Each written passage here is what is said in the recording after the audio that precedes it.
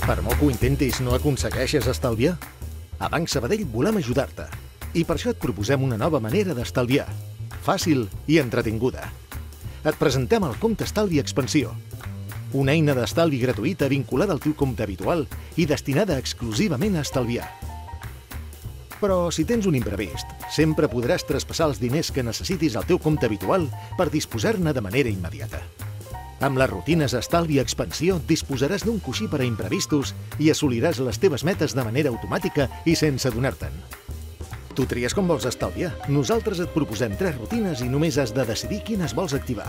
Pots triar estalviar amb el mode periòdic, l'opció clàssica. Nosaltres et recomanarem un import setmanal per estalviar, adaptat a tu i al teu ritme d'estalvi. O podràs triar la quantitat que tu prefereixis. La nostra segona rutina és l'arrodoniment. Cada vegada que facis un pagament o que aparegui una despesa al teu compte, arrodonirem l'import a l'euro següent i així estalviaràs la diferència. Ah, I si vols estalviar més amb aquesta rutina, pots utilitzar l'opció del multiplicador. I com a tercera rutina et proposem que estalvis els dies de pluja. Sí, ho has sentit bé. Els dies de pluja no surts tant, així que per què no aprofites per estalviar una quantitat extra?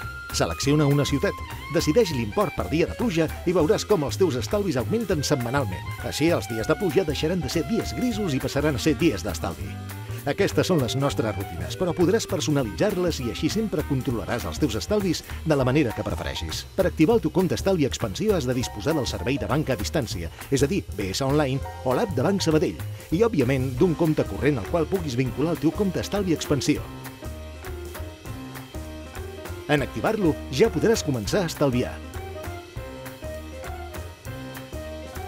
Compte Estalvi Expansió, la manera més fàcil, intel·ligent i divertida d'estalviar.